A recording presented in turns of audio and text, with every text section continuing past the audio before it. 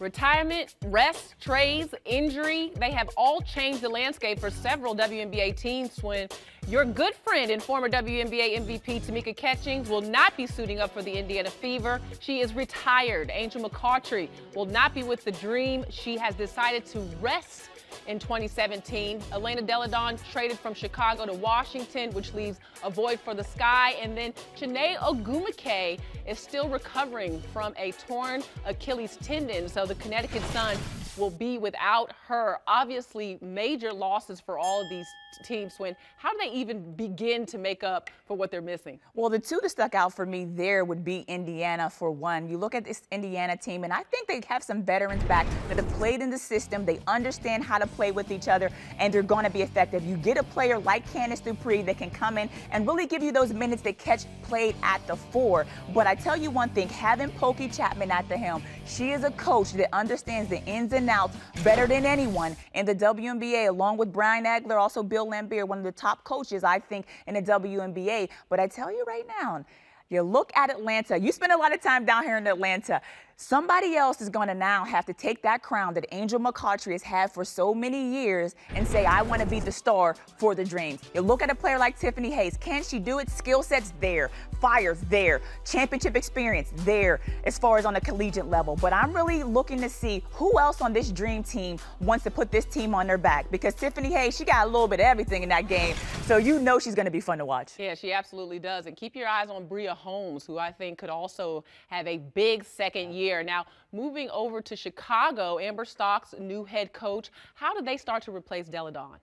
Well, it's going to be hard to replace just one player. I think they're going to have to do it by committee. And you look at a player like Vandersloot, she is one of the premier point guards in our league because she's so smart, takes care of the basketball, gets her teammates involved. You look at Stefanie Dolson that's come to the team. But do not forget about Cappie Pondexter. She has been an Olympian. She's been a star in this league for a number of years. She's going to bring it. And also Tamera Young. I think she has the ability to guard anybody in this league, physical player. So it's really going to come down to can they gel well and what kind of system will they run? We don't know. With a brand new head coach, we don't know what's going to happen, but they have some key vets on the team. Well, for the Connecticut Sun, keep your eyes on Jonquel Jones, who could be a big difference maker there. Here are your top five picks in this year's WNBA draft. Kelsey Plum went number one overall to the San Antonio Stars. Number two, Alaina Coates to the Chicago Sky. Remember, she was part of South Carolina's team that won a national championship this year. Evelyn Akhator from Kentucky. Number three to the Dallas Wings, along with Allisha Gray of South Carolina. Last but not least, out of Northwestern, Nia Coffey, number five, also to the San Antonio Stars. When I pose this question to you as you say, show up and show out.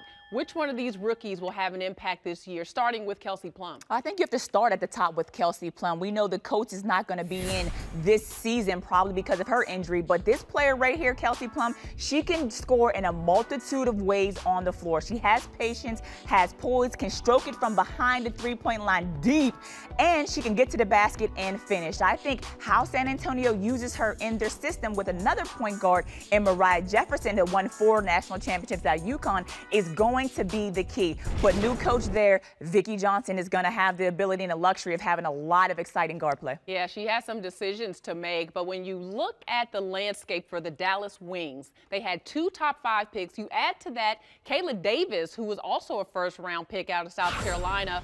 What can Fred Williams do with Skylar Diggins Smith, Glory Johnson, and Aerial Powers with these rookies. Listen, he has a young, exciting team. They're going to get up and down the floor. They're going to run, getting kind of reminds me of that old Phoenix Mercury team that wants to have a lot of possessions and score a lot of points. But I tell you, you have a player in Skylar Dig- Diggins Smith in the best shape of her career. I wouldn't be surprised if they make a run deep come playoff time. Well, speaking of rookies, here is what the general managers of the WNBA had to say. This is the 2017 WNBA.com GM survey. They picked Kelsey Plum for their Rookie of the Year. Elena Delle Donne was their selection for the 2017 WNBA MVP. And then they think it's going to be the Minnesota Lynx and the LA Sparks again in the finals with the Lynx taking home the championship. But Swin, all that really matters is what you think.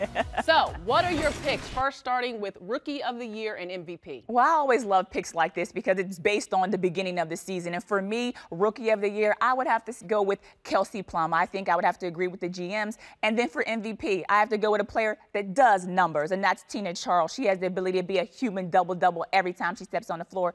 And then for the team that's going to win it all. Right now, a team that has experience, they have veteran leadership, they know how to uh, score and also defend. You have to say the Minnesota Lynx is are right at the top of winning it this year, but don't I don't think LA, New York, Seattle are too far behind. Well, I agree with you on Kelsey Plum. I'm actually going Maya Moore because she's had too much rest. She's my MVP, and I'm going with the Minnesota Lynx. Cheryl Reeve's team will get back on top this season. A lot to watch in the WNBA. And another thing to watch is Swin. Congratulations, you were expecting your first child, Thank you and your you. husband Steve. So we'll be watching this budding stomach this season. Congratulations to you and your husband. Thank you so much. It's an exciting time for us. Looking forward to this WNBA season and looking forward to see all the ladies that are really going to bring it this year. So make sure you watch them work. That's right. Fans, we want to see you in the crowd. We want to see you watching your television. Watch them work. For LaChina Robinson, for Swin Cash, that is the WNBA preview show. See you next time.